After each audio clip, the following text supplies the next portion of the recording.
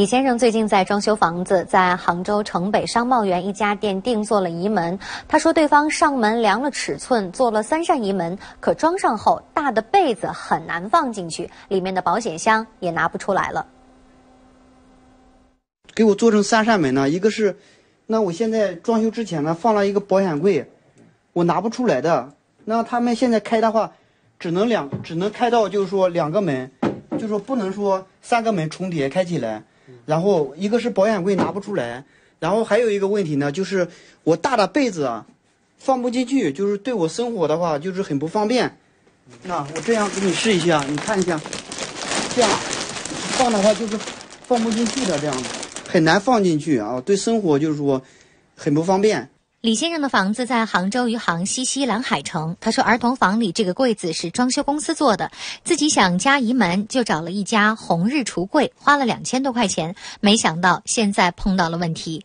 那你这个当时做这个柜门的时候，有没有跟那个商家说你是要做几扇门？嗯，这个我没有，因为这些问题的话，开始出现之前我也不懂。他们因为商家是专业的嘛，我们是非专业的。我这个柜子呢，当时装修公司给我做的是两边均分的，中间一个隔档，就是有一点常识的人看一下，就专业的人他就会知道。是两扇门。记者现场推了推这几扇移门，因为只有两条轨道，无论怎么移动，放保险柜的这个格子都没法完全露出来。李先生说自己和妻子经常在外地，对方来装门时只有装修公司的人在。发现问题后，他找到了红日橱柜。后来厂家有个人给他回了电话，他说：“你这个柜门太大了，全世界都做不了这么大的柜门。就是如果做两扇门呢，但是我量过这个尺寸啊，宽度。”嗯，整个柜子只有两米零二，做两扇门是可以做的。我也向朋友了解过，朋友家里面大部分也都是这么大的门子，有一些比我这个还要大一点也能做。找到城北商贸园这家红日橱柜，王老板说，当时上门量尺寸时，木工还没有把柜子里面的结构完全做好。为什么考虑是做三扇不做两扇？这个尺寸正常来说，就像你说的，可以做两扇，可以做三扇。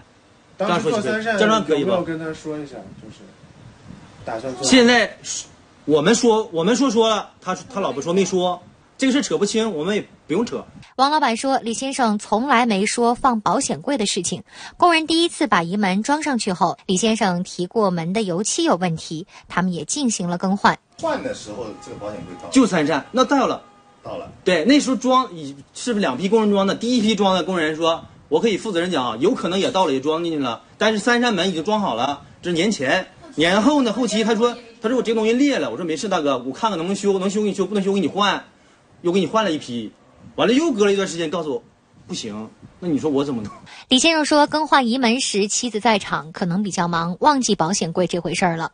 王老板说，在他看来，整件事情上双方都有责任，自己提出过解决方案。我说柜体我帮你改一下，因为不你要是扯到回头了，他说装修公司人撤了，不找装修公司。我说行，柜体我给你找个工人给你改一下，是不是？几百几百块钱的事，对不对？你要是换门也行，咱一人一半。那那我作为商家，我做的只能这样了吧？李先生考虑了一下，表示还是换成两扇移门，现场交了一千一百块钱。幺八幺八黄金也记者报道。